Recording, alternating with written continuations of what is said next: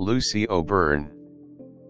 Back in 2015, young Irish opera singer Lucy O'Byrne wowed the voice judges with her performance of the fiendishly difficult Un di aria from Puccini's Madama Butterfly. Kudos to anyone who can sing this, to be honest.